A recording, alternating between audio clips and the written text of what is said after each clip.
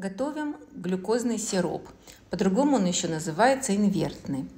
Мы высыпаем 350 грамм сахара, выливаем сюда 155 миллилитров воды, добавляем 1 треть чайной ложки лимонной кислоты, это где-то 2 грамма, и ставим на огонь на средний огонь, чтобы быстрее закипело.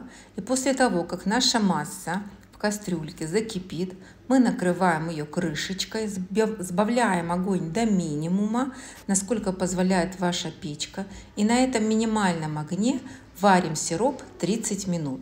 Через 30 минут мы проверяем его на готовность. Для этого мы берем термометр, который можно купить в любом кондитерском магазине либо откладываем ложечкой часть сиропа на блюдечко, остужаем и пальцами пытаемся его проверить на готовность. Для этого мы его берем и между пальцами растягиваем. Получается такая ниточка толстая, тягучая. Сироп готов. Таким образом можно его проверить на готовность.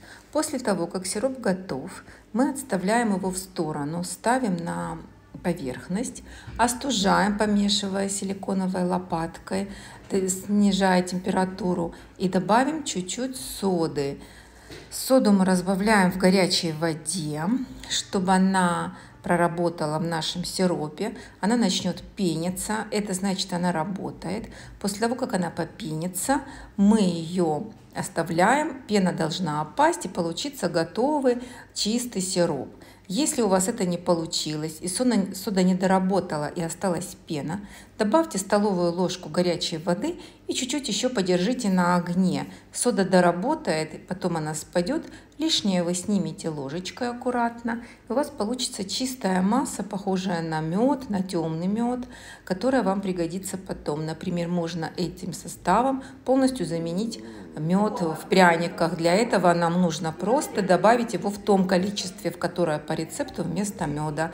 Это очень хороший заменитель и для приготовления мха, который я вам показывала в предыдущем уроке для декорирования пряников.